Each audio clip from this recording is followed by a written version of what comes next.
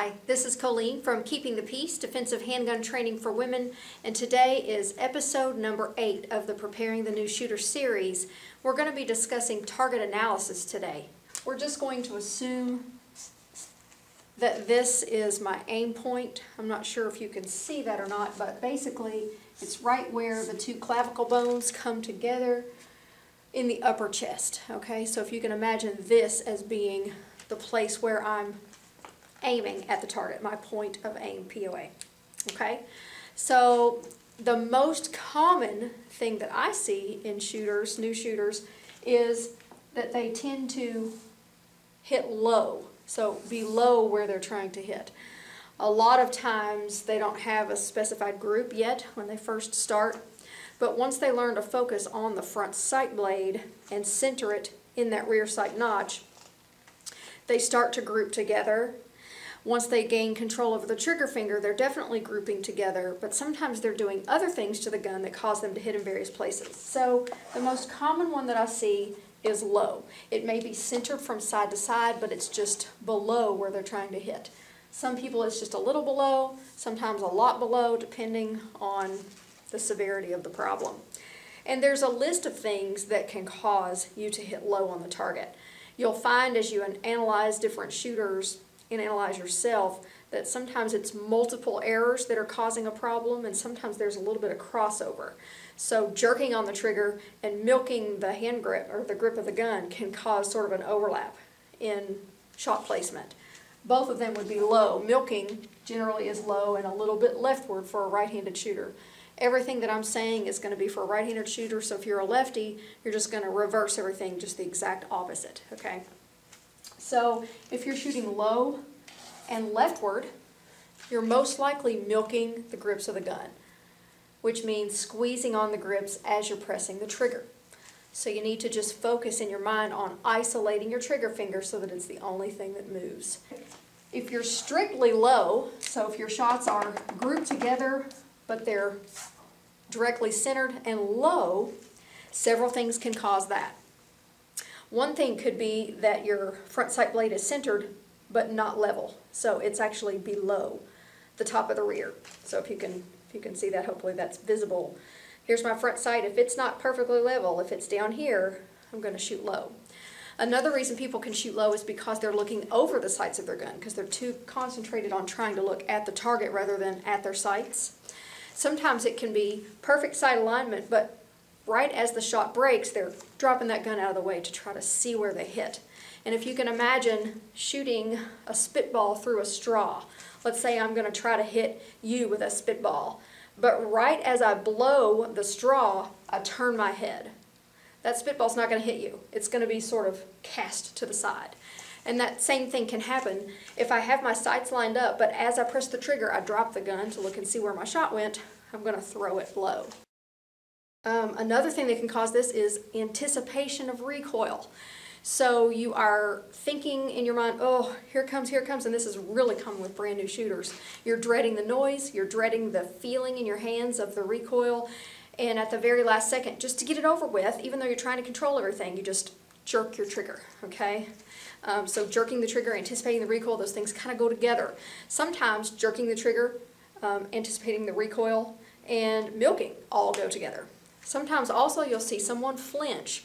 Flinching can be different per person. One person could flinch and pull the gun up this way, one person could flinch and push it the other way. It just kind of depends on how your reflexes work in your own body. So those are the most common causes of low shot placement. And I'll put a slide here just to list those things again so you can write them down if you'd like, and you can pause on that.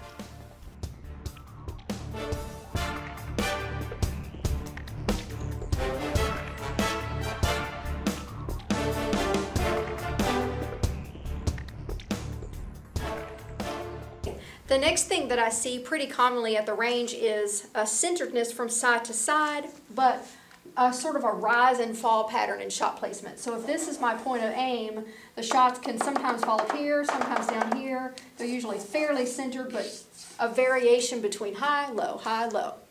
Usually the cause of this is the breathing, okay? Um, but if you're letting any breathing happen at all while you're pressing the trigger, then you're gonna see a real inconsistency in shot placement in a vertical pattern. Some of them may be a little high, some may be a little low, some may hit right on, okay? Uh, but that's a fairly common problem. Okay, another thing that I see at the range is this being my aim point, shots kind of just sort of scattered about, but none of them quite hitting that center point. They're just kind of all over the place. When you're seeing this type of pattern on your target, where it looks more like a shotgun has been shooting your target rather than a handgun, generally the problem with that is the person is focusing on the target. If you allow yourself to focus on the target, then you are not lining up your sights. And keep in mind, your bullet will impact wherever the front sight is when it is centered and level. But if I'm looking at the target, I don't really know where that is, and it can be very inconsistent. From shot to shot, that's going to move around because recoil takes place, the gun moves, and if I'm not looking at the sights, I don't know exactly where to put it back. I'm just kind of guessing subconsciously, okay? So don't focus on the target, focus right on the front sight, through the rear sight, make sure it's centered side to side, and level top to bottom. If this were my aim point, and I have a nice little group centered side to side, but high, okay, so it's above my point of aim. This can be caused by a couple of things, that my front sight blade is just not quite level. So if I, you know, stick the gun out there and I don't allow that front sight to come down to the level point, that's going to cause me to shoot high. Another thing that could cause it would be what we call heeling. And heeling is when you press into the grips of a handgun with the heel of your hand as you're pressing the trigger. So if you can imagine kind of a, a motion sort of like this. Okay, and that will cause your shots to rise. Another thing that I see is what we call inducing recoil or induction of recoil. This is when the person knows in their mind that the gun is supposed to move, but they've sort of made it in their mind to be a huge motion, and they're convinced that it's just going to really, really travel upward. Um, this also happens, I think, because we play with toy guns when we're a kid and we kind of go pow pow and we kind of simulate recoil. Well, these shooters will simulate recoil, but they don't realize they're doing it. So as they press the trigger, they're actually raising the gun above, above the amount that it would naturally recoil, okay? The last thing that we see at the range would be, this being my aim point, shots that fall to the side. If your shots are falling to one side or the other, usually the cause of that is either too much or too little trigger finger. If you put too much or too little trigger finger, you're going to make that gun yaw from side to side. You want to place that trigger finger in the middle of the first pad so that you can press that trigger straight to the rear.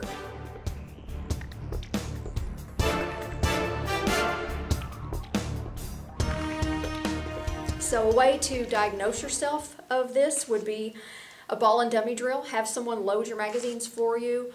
Um, or if it's a revolver, have them load your cylinder for you and put in some dummy rounds or snap caps as we call them. But you don't know where they are. So you fire the gun as normal and when the gun strikes or when the firing pin strikes a snap cap, you're going to get a click but no bang. But you'll be able to watch what happens to the gun. If you hit a click with no bang but your gun does this, you're inducing recoil. If you get a click with no bang but your nose drops, you're probably either jerking the trigger, milking, dropping the gun to look for your sights, anticipating the recoil, or maybe a combination of those things. These are some really common shooter errors. Remember, you may be committing more than one of these errors. Pick one, try to diagnose yourself, okay? Judging by the different shot placements that we talked about today. If you're, if you're doing one of those things that's an overlap of different errors, pick one error at a time and see if you can conquer it. And then maybe videotape yourself or have someone go to the range with you to see if you might possibly doing uh, more than one of these things. And just conquer them one at a time. Don't try to conquer them all at once because you'll overwhelm yourself and you'll get frustrated. Remember, always leave the range with a positive experience. If you start getting frustrated or angry at yourself, pack it up, put it away, and go back another day with a fresh mind. Thanks again for joining me today for episode 8 of the Preparing the New Shooter series. I look forward to seeing you next week in episode 9 where we're going to talk about nomenclature and function. We're going to go through a revolver and a semi-automatic and talk about all the little pieces and parts that you see on your gun, what they do, what they're for, how to properly use them. And that might help you with some of the lingo that you're going to hear in the gun world. It's really intimidating as a new shooter to come into this community and hear people rattle off all these terms. And um, hopefully this nomenclature video will help you to know the pieces and parts of your gun, to be a little more comfortable conversing about them. And you can look forward to in the near future me starting a new series called Gun Terminology for Dummies.